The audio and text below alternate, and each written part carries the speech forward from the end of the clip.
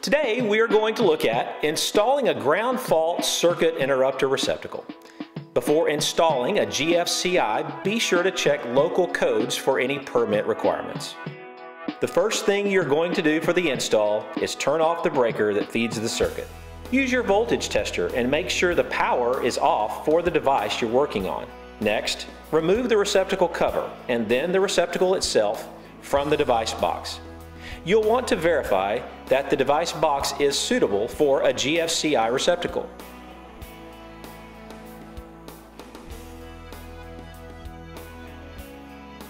Disconnect the wiring from the existing receptacle. If it is a GFCI receptacle you are removing, take note if the wires are only connected to the line side or if some of the wires are connected to the load side.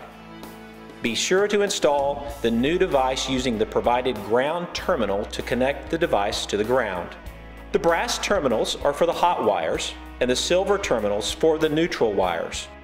Once these steps are complete, reinstall the device into the electrical box. Then reinstall the device cover. You'll then need to turn the breaker on to test the receptacle.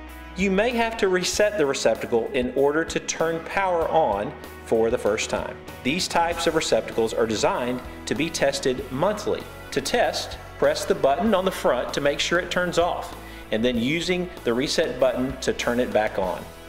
If either of these buttons fails to work, the receptacle must be replaced. Be sure to contact an electrical service provider if you have any installation, electrical questions, or needs.